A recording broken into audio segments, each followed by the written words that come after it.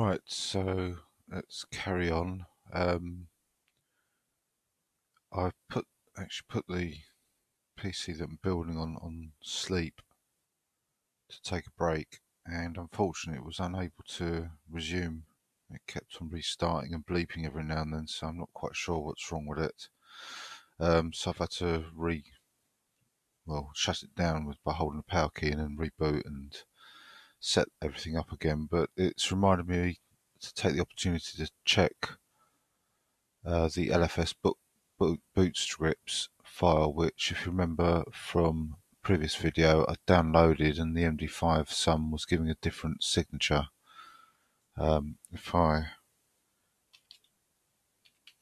check it here at the moment, the one that was downloaded yesterday was, as you can see, completely different. So what I'm going to do is download this one again, being as the MD5 sum hasn't changed, it's obviously still different, and check to see if the file has been updated.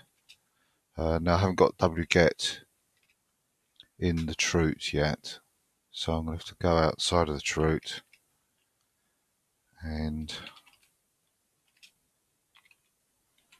go into mount LFS sources and fetch the file here. So this won't overwrite the original one, it'll just create another file with a index after it. So you can see it's got added 0.1 to the file. But now if I do MD5 sum LFS star, you'll see the new one has actually got the correct MD5 sum. So in fact, if I run MD5 sum minus C MD5 sums, they should all pass now. Oh no, oh right, okay, it will do after I rename the file, so. So what I want to do is to remove the old file. You can see they're even different sizes as well. So as I say, despite the fact they're the same file names, They've obviously been compressed differently, compressed by a different person, compressed by a different version of XZ, something subtly different about them. Um, and that's the value in MD5 sums. They could even be exactly the same size, and if the contents were slightly out, even by one bit, the signature would show that. So I'm going to delete the incorrect one and rename the correct one to the correct file name and I'll rerun the MD5 sum check and you can see it's all passed now. There's no error messages. So that shows that we've now got the complete set of packages uh, that are correct.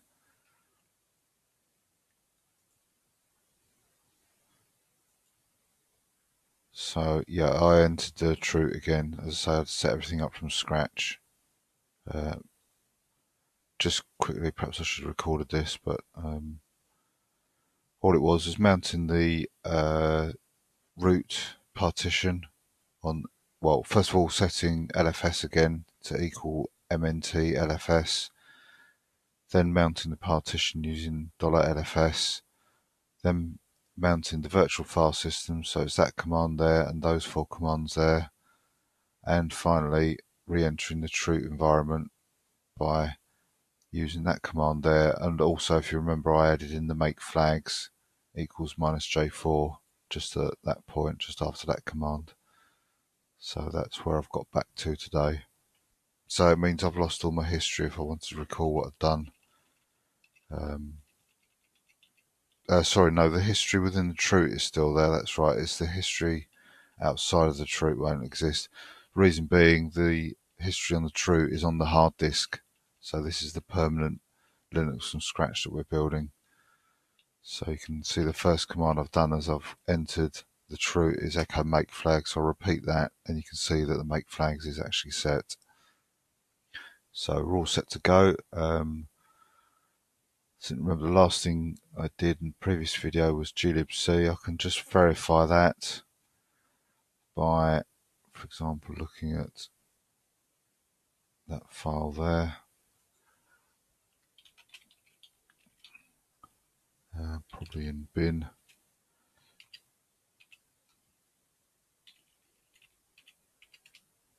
there it is there, and you can see it was uh, late late yesterday at 20 to 7. So that is indeed there. So the next thing is zlib. Start building that. So once again, we go through the motions for each package of extracting the package, changing into the directory that's been created, and then copying and pasting the commands whilst also reading the text that surrounds commands for anything important. So initially this might be a little bit slow because it's got to load all the tools. Uh, well, sorry, no, it would be less the tools and less the libraries actually. It should be thinking about it because we've built everything. There shouldn't be anything that loads off the USB actually, um, unless it's you know the odd file for the kernel, something like that maybe. Um, every program, every library that should be used should be what we've built in the uh, cross tool chain that we've built. So yeah, again, we're in chapter 8. I'm going to be testing every single package. I want to be sure that what I'm building works well, that I've not missed anything, made a mistake that's caused um, significant error in the build. Um, it might even point to an error that would prevent me from building much further on and therefore potentially save me some time. Right, yes, I, should try and get a new mouse. The center click button's a bit ropey. Okay, so that's zlib, that's a nice small one, which is good. It'll ease us into the building process gradually.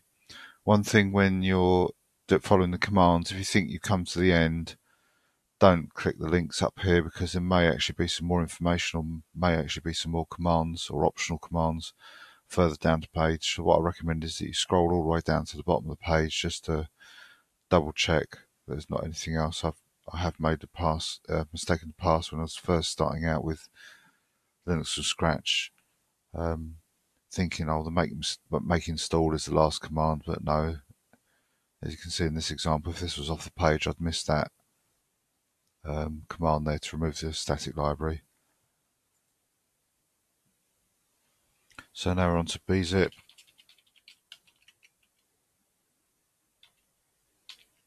So what's happened here, I've done the tab to get the complete file name, but because there's a patch involved with this one, it's not completed. So that's a good little check to show you that the patch is available, or at least something else is available. It could also mean that the uh, directory hasn't been cleaned up from last time. So if I did that again now, obviously it's going to do the same thing. But if I tab a couple of times in addition to that, you'll see that there's a directory there because I've just extracted it. Well, had that been from the previous extraction of bzip2, that would tell me that I need to stop the extraction. So I'll do that and I need to actually uh, delete the previous directory because I don't want to reuse that, any of that. Um, yes, the extraction will overwrite any files that might have been modified, but it won't get rid of any files that have been generated and therefore may, maybe skipped being built. So that's worth knowing. So let's extract it once more. Again, it stops because it's got a patch file. If I tab twice, you can see the directory is not there. I know it's just a patch that's stopping the auto completion from continuing. So I can just fill it in myself, the rest of it. So now, first thing we'll do is apply the patch. And I sed command. and another one.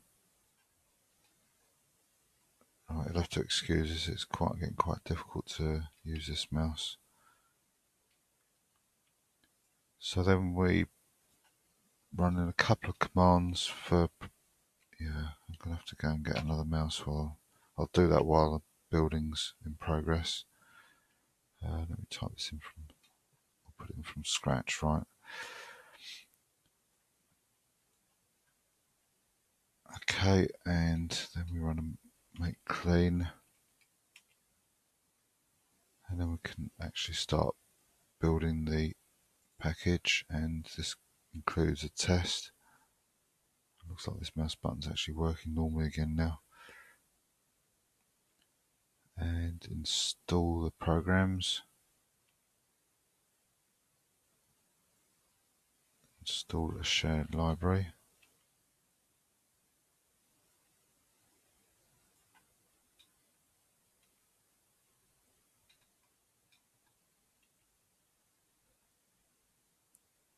and copy the shared library.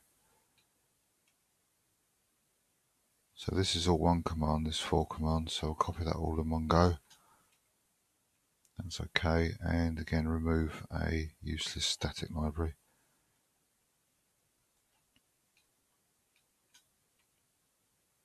And that's bzip2 done. So now move on to XZ. Oh, another thing I've done, you might have noticed, because um, the website's been updated, I'm actually browsing the web pages from the Linux from Scratch website, um, which also means there's a slight pause between the loading of the page now because it's got to fetch the pages off the internet.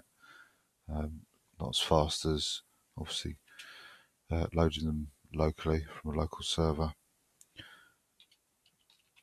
So extract xz.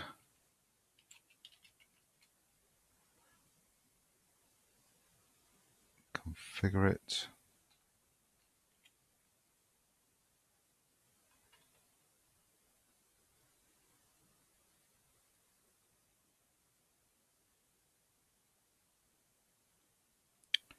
And build the package.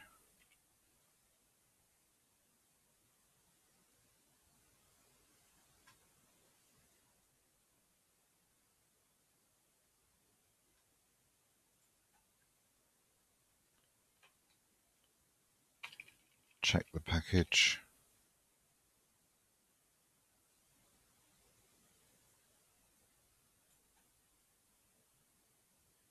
All okay and install the package and that's complete. So next we'll go on to Z standard.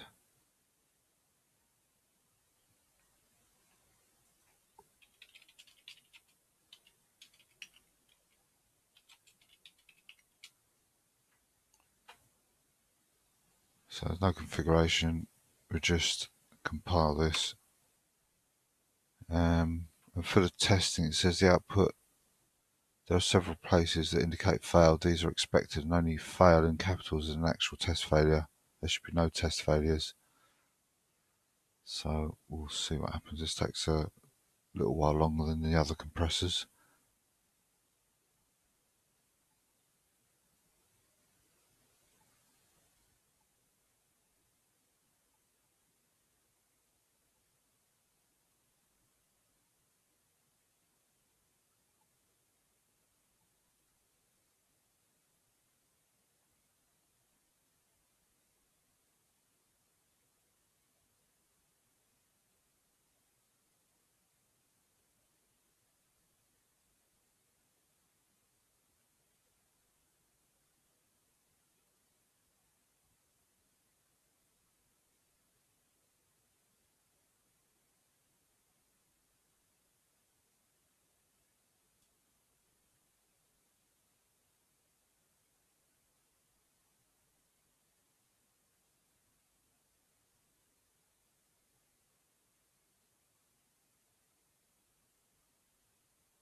Okay, that's complete, so I'll run the tests now.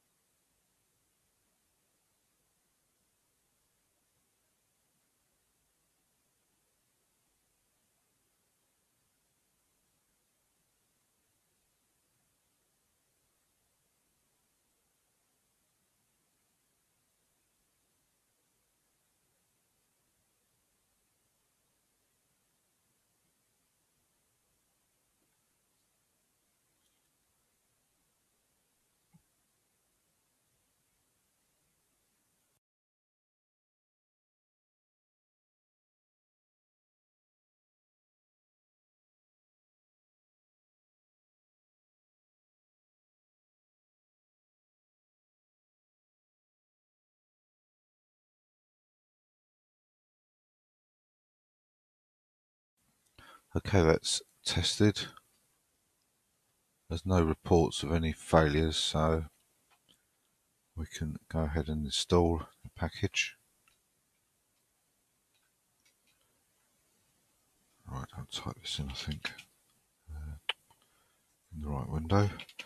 Make prefix equals forward slash user install.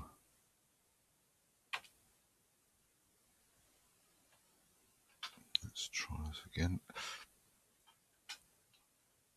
Okay.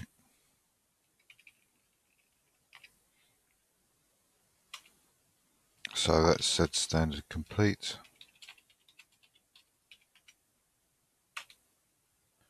And we move on to file.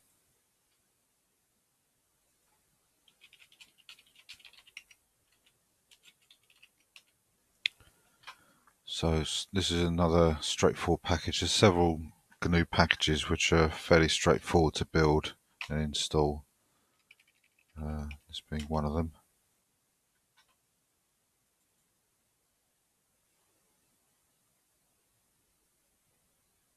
So build it.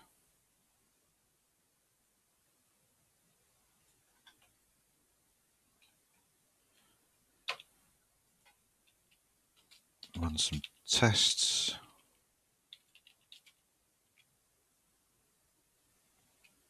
All okay, there's no reports for any errors. So we'll install package and that's file complete.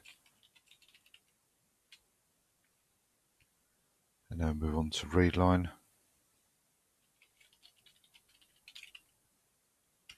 Okay, and that's stopping because of a patch, so that's fine.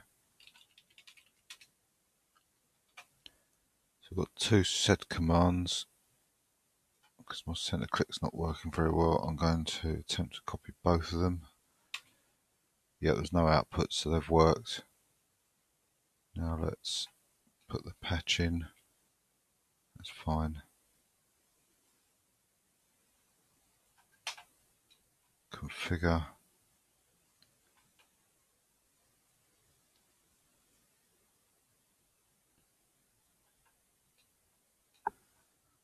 Build it.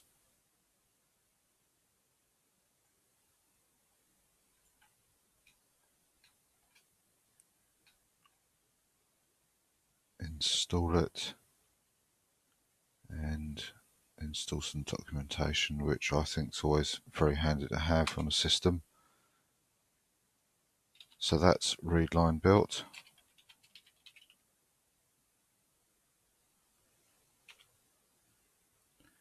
Move on to M4.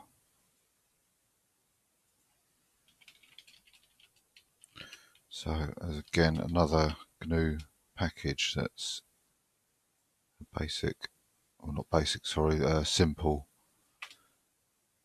uh, configuration and build.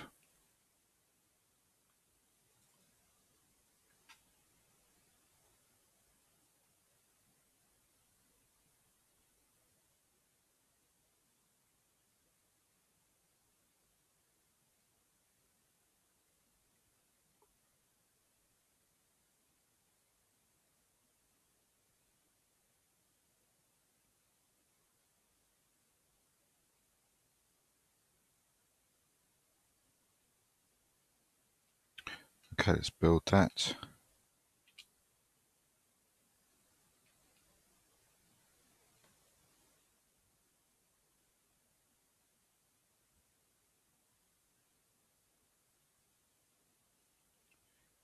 Check the results.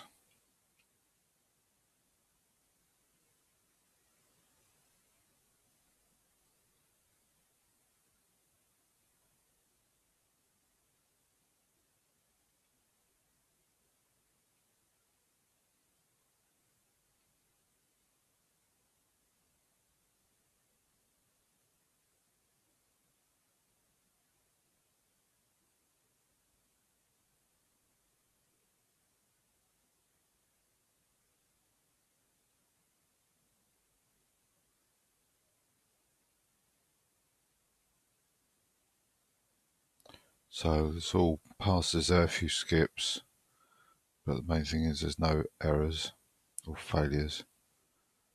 So we can install now.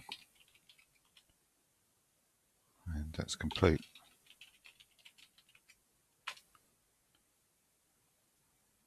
Now move on to BC.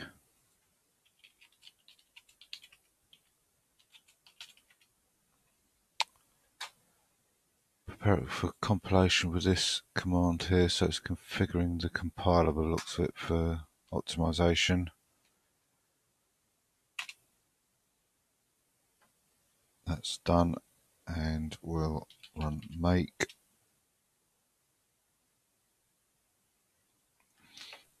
It's complete. Run the tests now.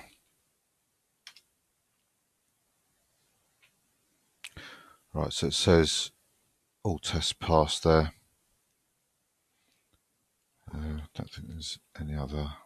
No, uh, that's a point. I didn't set my scroll back again.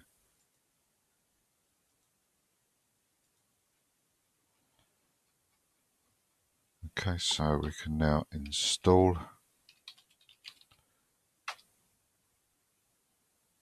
And that's all done.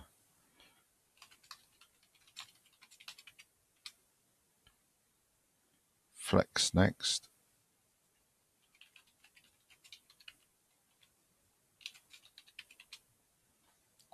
So configure.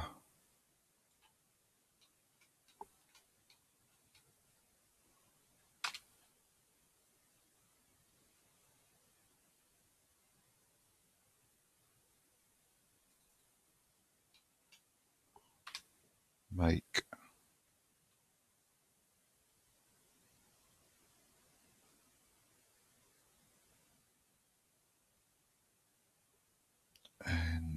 check. It says it's going to take half an SBU, so hopefully I'm going to quickly nip away and try and find a mouse and plug it in. The problem I've got is that the machine I'm using is not that close to me. Um, and I need to find a wireless mouse, otherwise a wired mouse will be a bit of a problem, but I'll see what I can find. So we'll see if I can uh, get there and back quickly.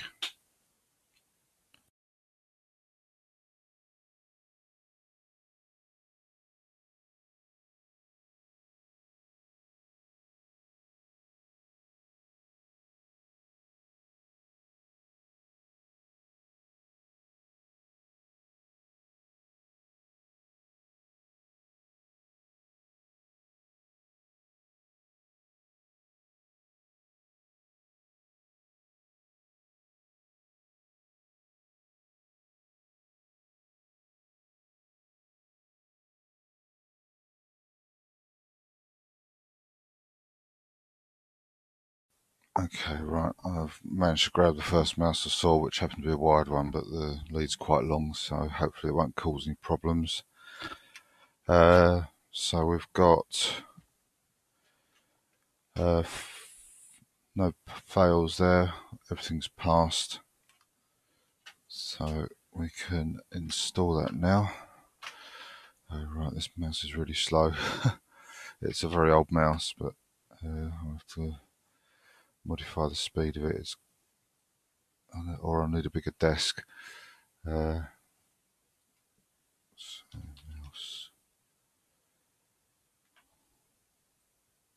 uh, yeah, you might see the mouse just dragging like that because, as I say, it's a wide one. It's hanging off the uh, edge of the desk. Let's see if I can. Okay, that's still quite slow. Right, that's pretty reasonable. It's not perfect, but it'll have to do for now. Uh, right, so yes, that's passed. So now I'm going to install the package. That's better. That'll save my finger. It's starting to get a bit sore pressing down so hard. Um, got two symlinks here to. Oops, these, these buttons on this mouse are extremely sensitive, so I'm going to have to be careful. Two symlinks put in, so that symlink's okay, and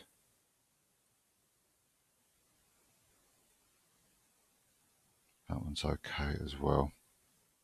So that's flex complete.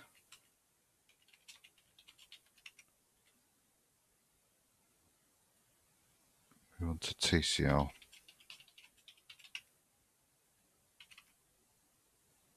So we've got two packages here, one called HTML and one called source. So I imagine it will be the one called source.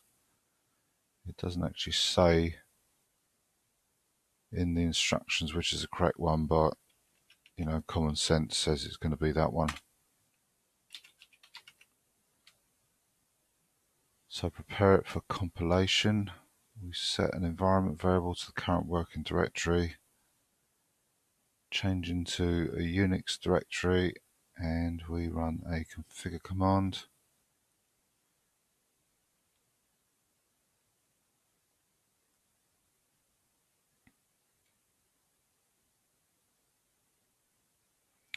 Now we can build it.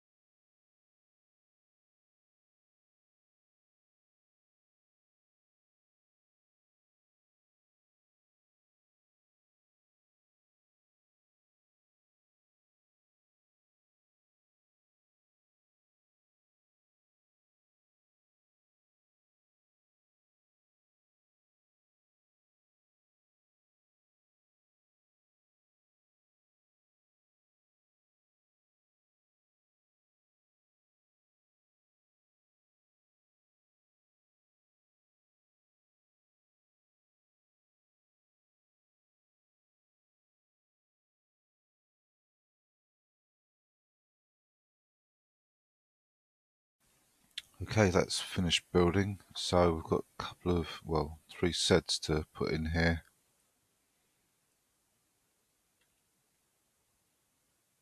So I'm just going to copy each one of these one at a time. Make sure there's no errors on the output. There isn't, that's okay. We can now undo this source stir and run the tests.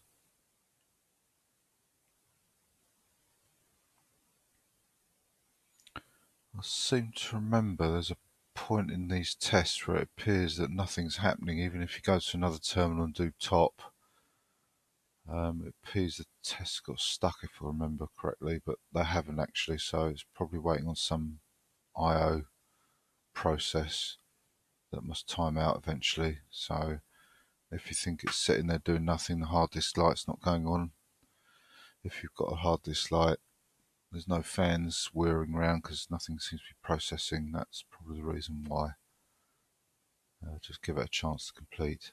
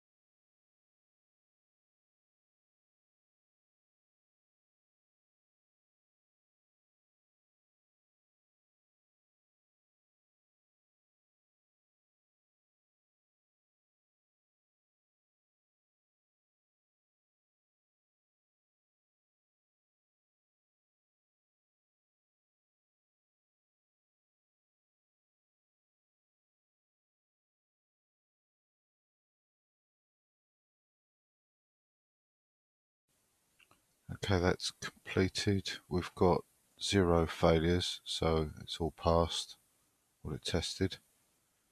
So we can install the package.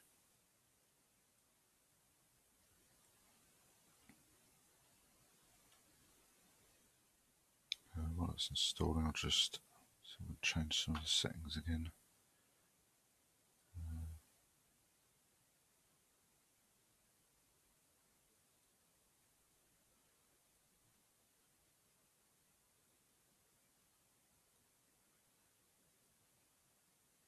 See how that goes. So that's installed. We've got to change the mode of a file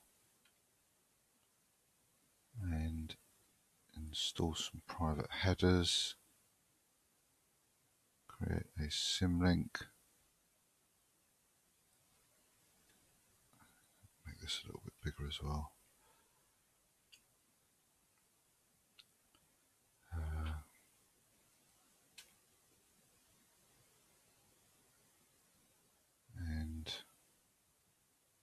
Rename a man page that will conflict with the Perl man page.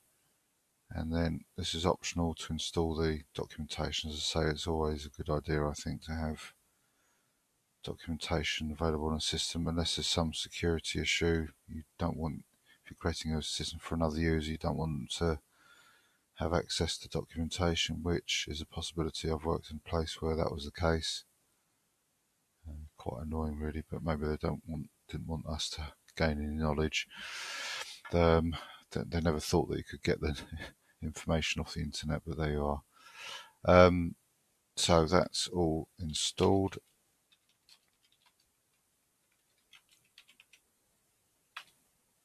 Uh, tidy that up and we move on to expect.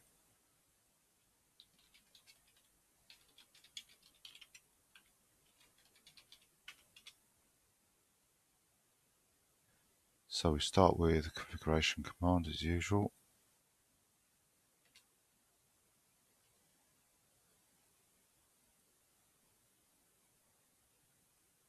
And build it. Now usually, um, perhaps it says the test suite for expect is considered critical. Uh, expect's not part of the tool chain, but I imagine it's because it's part of the testing uh, environment or suite of programs, so that's probably why it's critical.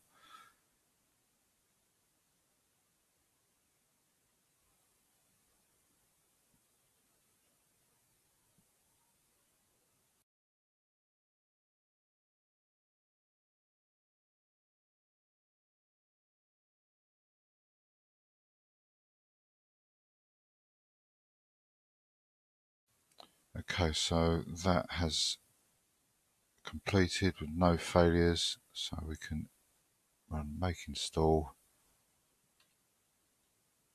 and create a symlink and that's complete.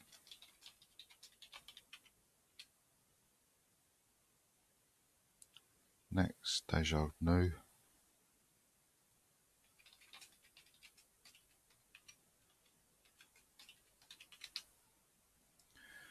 So we have to build this in a build directory, that's what's recommended. Now we run the configure command.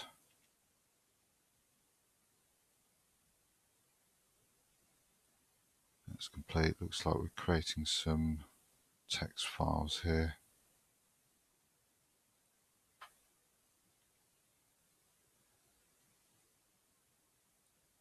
Making install and finally install the documentation that was created.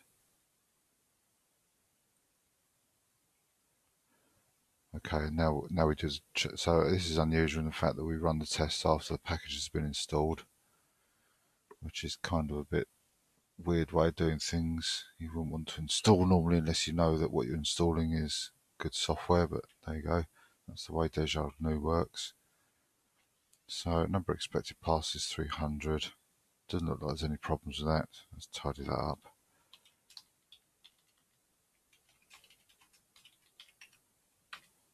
And move on to binutils.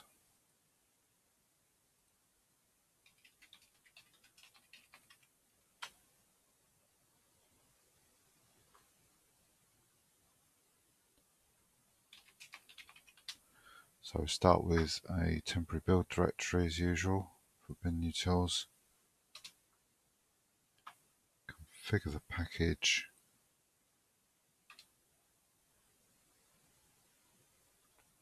And build the package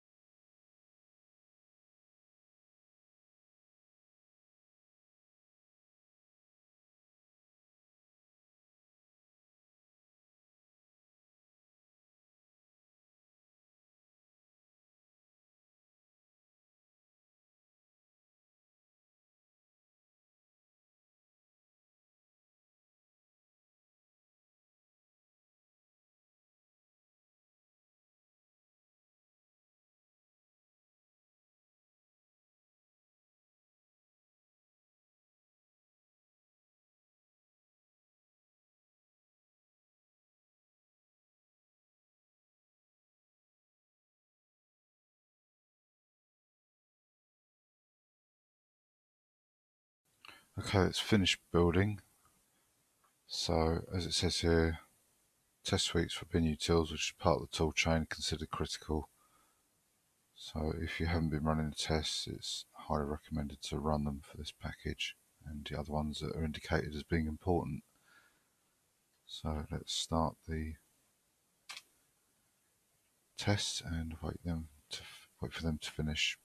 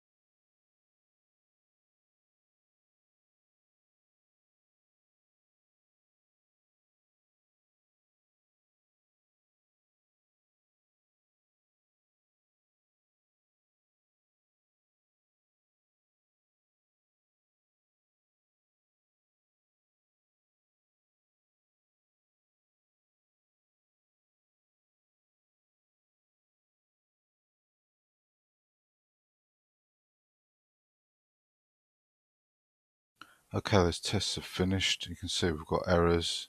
Um, saw some red go past. Uh, but it does say here that there are expected errors. 12 should fail or will fail in the gold test suite when these two options are enabled. and three tests in the gprofng suite are also known to fail. So we can examine those errors easily with this command here. And you can see we've got three in the gprofng as mentioned, and there probably is about 12 there in the gold test suite. So 1, 2, 3, 4, 5, 6, 7, 8, 9, 10, 11, 12. So despite those errors, that is a pass as far as the LFS system is concerned.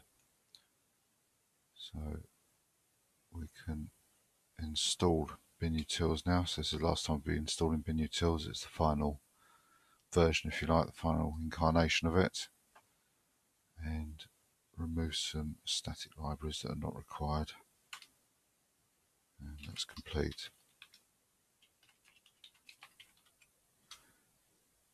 So tidy up and move on to GMP.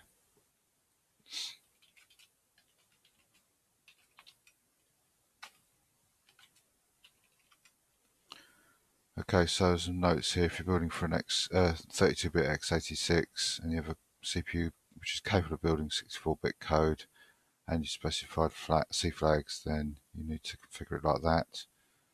Um, and also a note about the fact that GMP produces libraries optimized for the host processor. So if you are planning on moving LFS to this copy of LFS to a CPU with there's an early generation, which as I mentioned previously is not really ideal anyway because you don't know what else has been compiled using optimizations for the current architecture, but um, yeah, you might want to take a chance, I suppose, uh, that you need to add in this command here. As I say, I probably wouldn't normally recommend it, or if you were to try it, wouldn't expect it to work very well. So let's run configure.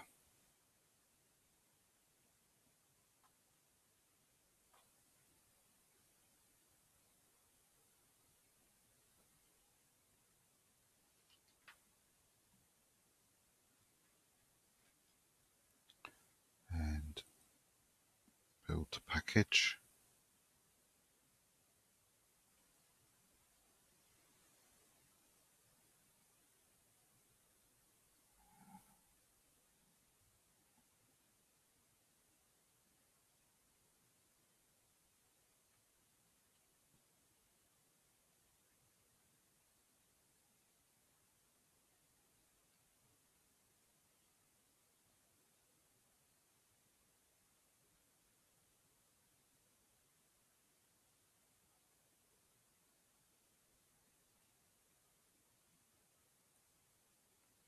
Build some documentation the looks of it.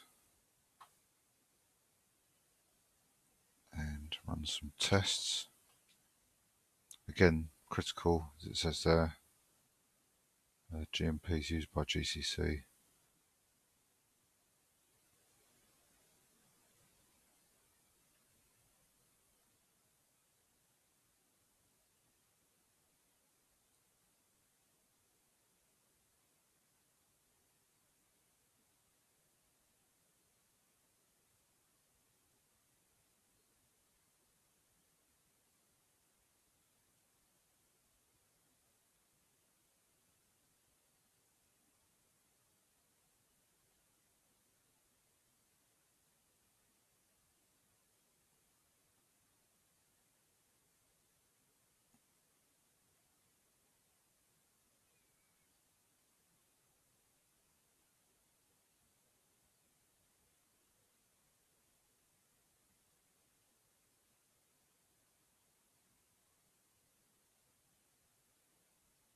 Okay, and it says to ensure that at least 199 tests in the test suite passed.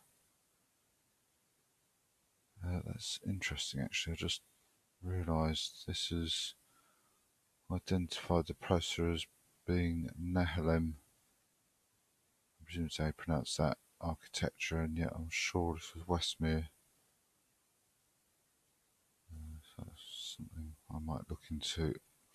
Uh, yeah, so yeah, it says at least 199, which is a bit of a funny way of wording this, but I guess maybe if you're on 32-bit, you might get more than 199 or different architectures produce different numbers of results or something. So as long as we've got 199 or more then, then that's okay, which we have. So now let's install the package and documentation and that's complete.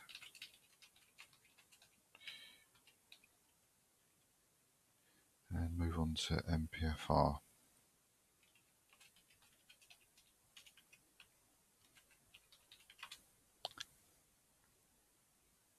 So this is to fix a test case on a bug of old glibc releases and then we can start the configuration.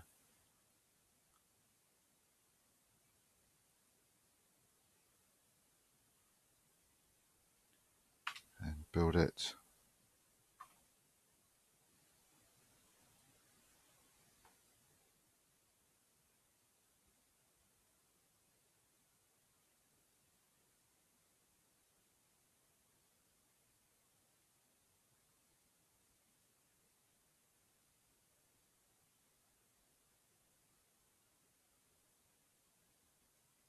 build some documentation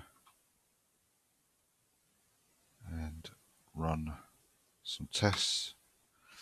So it says there that should be 197 on this one.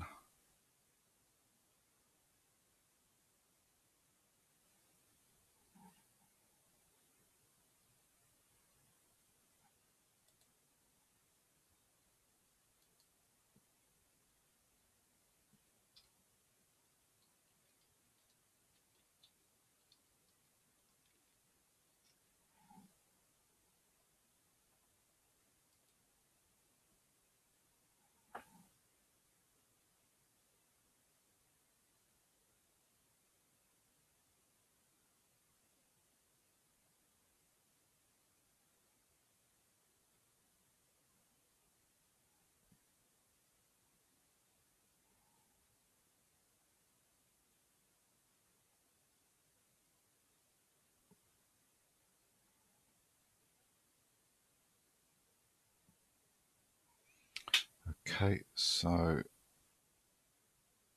where does it say how many tests there were? Okay, there it is there. So total of 197 passes. So I'll make install and make install HTML.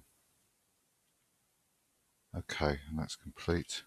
Um, while that was building, I just quickly looked on the internet about the Nehalem and Westmere architecture and it seems like the Westmere was a die reduction from the Nehalem's 45 nanometer process to 35 nanometer. So that's the reason for the discrepancy there.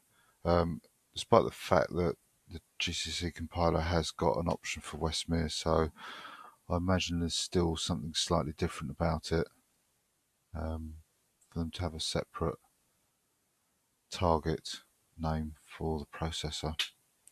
So maybe, although it's optimized, it's not optimized itself fully, but that's not, not a worry. So now we move on to MPC.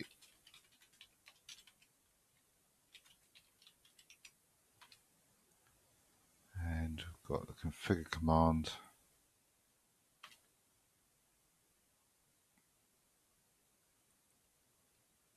Build a package.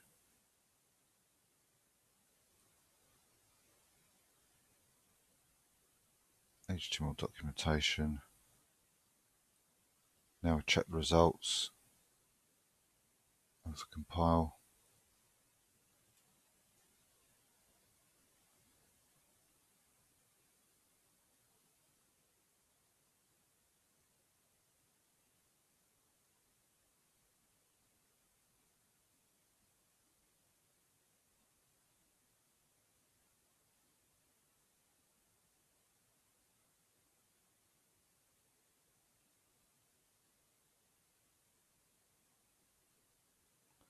74 passed, didn't say how many to expect, but there's been no failures, so that's okay.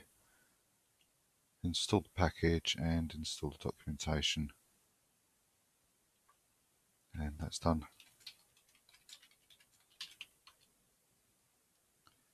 So ATTR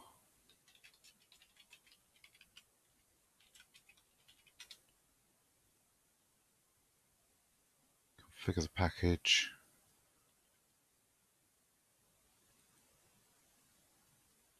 build it.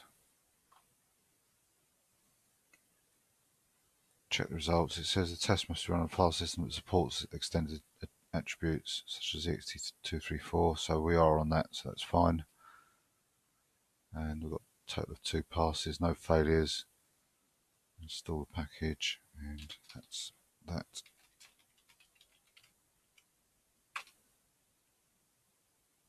Next ACL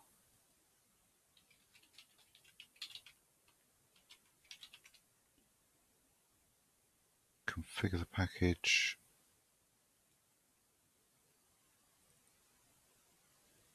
Build it.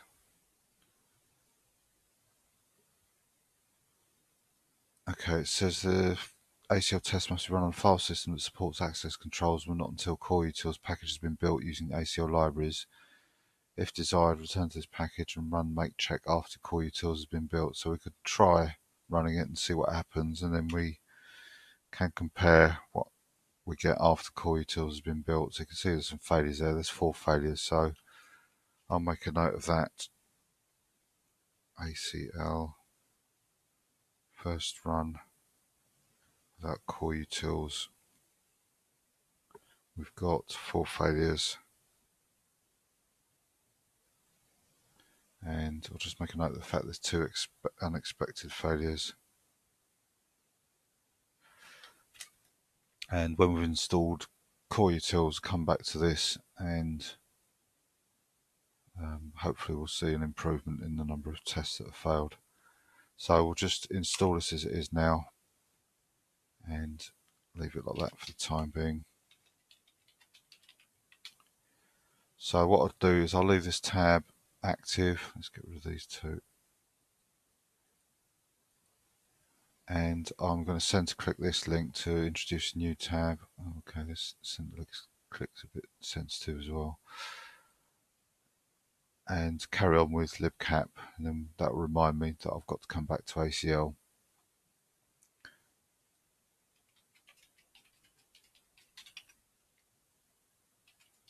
So libcap.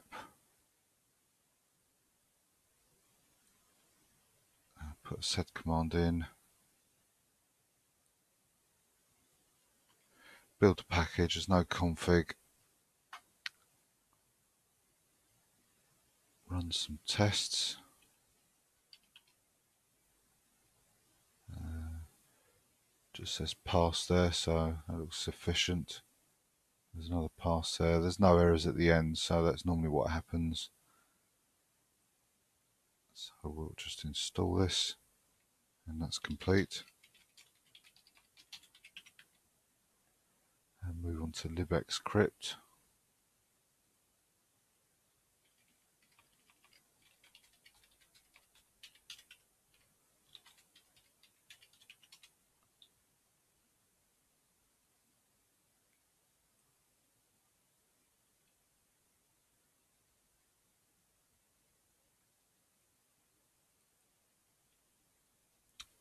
build a package run some tests.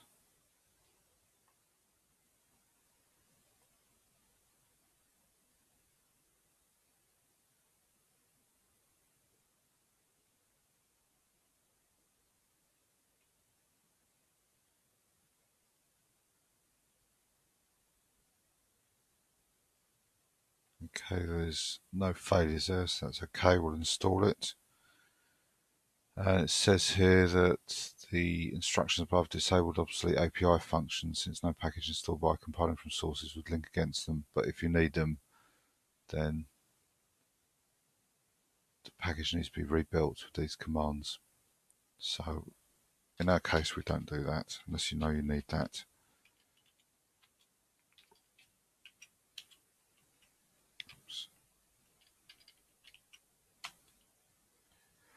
Okay, now move on to shadow.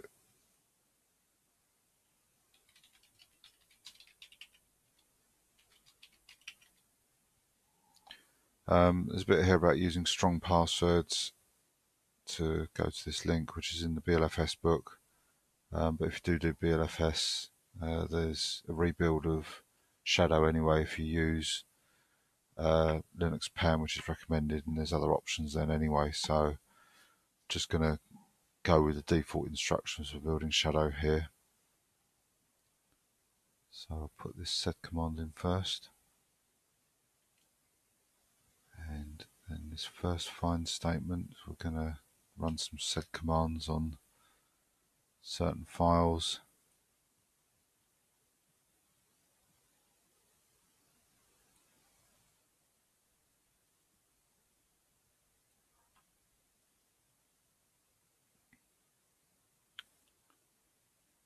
Um,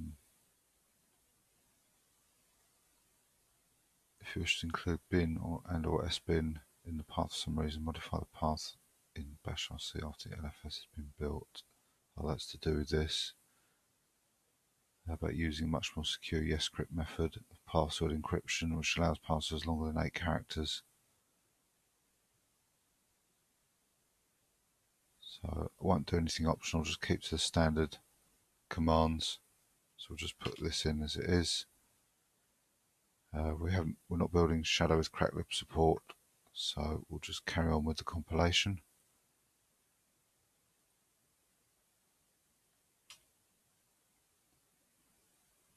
Run the configure.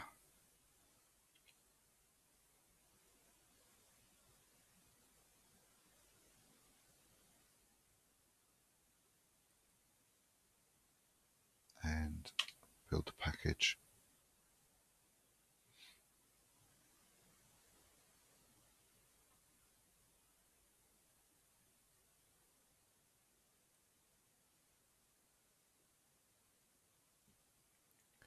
Install the package and some man pages. Now we have to enable shadowed passwords with this command and likewise shadowed groups, group passwords with that command. Um, it says Shadow's default configuration with the useradd needs some explanation, so it explains it there. Um, if change, if that action, or sorry, that um, default configuration is not what you wanted, it explains how to modify that. Um, basically, the UID and GID numbers start at 1000. Um, and to change default parameters a file, etc default useradd must be created and tailored to suit your particular needs. So we'll create it and set the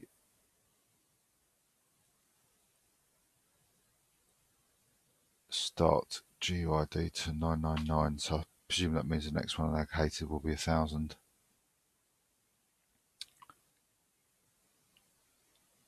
Uh, there it is there.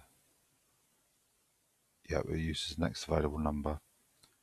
Uh, create mail spool. This parameter causes useradd to create a mailbox file for each new user. Useradd will assign the group ownership of this file to the mail group with 0660 permissions. If you'd rather not create these files, issue the following command. Well, it's probably not. Oops. Probably not necessary. So we'll put that in to prevent the creation of that mailbox.